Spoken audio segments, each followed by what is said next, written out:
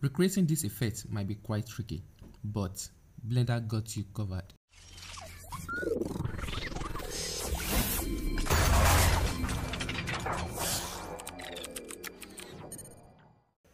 Okay, now this is how I pull out this effect. So first the first thing, get your model. I only need this hand, so I will just separate this. Okay, by pressing this. Okay, delete this. I don't need that. Now I will just add my camera. Just snap this to the location. So now this is great. So go to the motion tracking session. Okay, now I add my footage. Set the motion model to perspective. Now set the match to previous frame.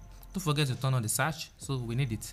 Okay, to add the marker just press ctrl click okay now we have the sash scale it up then rotate it so we can have it fit okay so that is great so now let's go to the tracking settings here just click on it now we have this and i have the drink dot so we need to enable the drink. so the grain is only enabled now we have only the green to track so track now you do your tracking and everything is really going well okay click on reconstruction Alright, now come to the down button, now select empty to track. Okay, by doing this, now we link the empty to the track. Okay, now we have the empty in 3D. Now go back to 3D layout and we have the empty. Okay, now let's choose and add our footage. Okay, click on it. Now we have our footage in the camera view. Okay, now when you play this, you see what is going on that our track follow the hand. Now I only need the part of the hand. Okay, I don't need one finger. Just cut out the part we don't need. Now let's delete the face. Delete the vertices okay now let's cut all the remaining part and we leave the one we need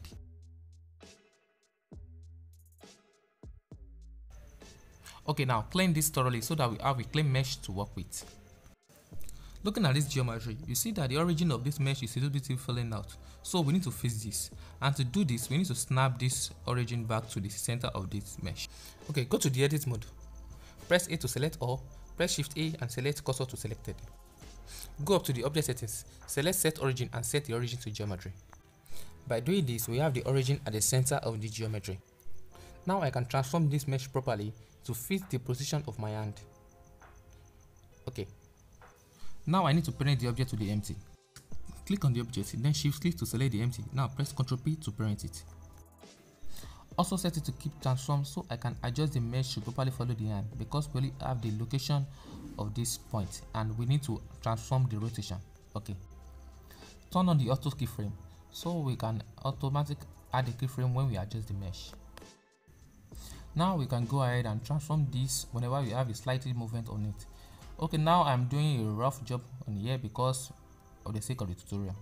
Okay now you have to take your time and do this perfectly because you don't want to have a sliding hand on your rear hand.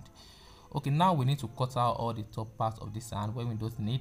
Okay just click on it select the delete the others okay by doing this now we have the face top. Now we need to fill this up. Now press e to extrude up press then s to scale it down okay now i need to also do the top part so i press f to fill that. First of all go to your camera view go to the edit mode then press u then select project from view. Okay now we project this frame from the view. Now when you go to the uv editor now you see that we project it. Now go to your shading. Now I need to import the exact frame of my UV projection. Okay, now doing this, just plug it to the face, base mesh. Now we have this. Now it might not be set properly, so you need to go to the UV editor, then adjust it, then set it. This is why you need to do image sequence. It's very important. Okay, now, now let's go back to the mesh.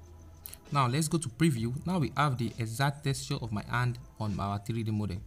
Okay, I can say that this is really looking good so in some parts you might not have a better mesh so we need to go to texture painting to fix this now this is texture painting and we need to choose the clone stamp tool to able to paint some part of this okay so we can have a clean hand to work with. Okay let's do that right now and fix it. Okay and if you want to paint from texture you can choose the clone then you can set your texture then set it. Okay now we need to place some blood on it so go to the color. Now set this to red you can drop down the illuminant and so that we can have a dark red so we can paint on it properly. Just paint on the top of the hand. Okay to have something like this hand will really cut. Okay now let's go back to the model now we can fix this roughness so you can put it to your own lighting okay? Now we have the model and everything is looking good. Now set up your light and everything will be perfect. Now i use like three light area lamp for this. Looking at this in preview mode everything looks cool okay and it's set. Now go to your film settings. Make sure you have transparency on so make sure you are on transparency. Okay now let's go to this rendered view right now. Okay go to the render view. Make sure you're in cycles first.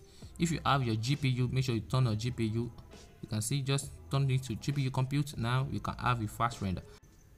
Looking at this in render view everything looks good. Now let's do the render. Okay click on render and you should have your render. So after all this then i do the composite and this is the final shot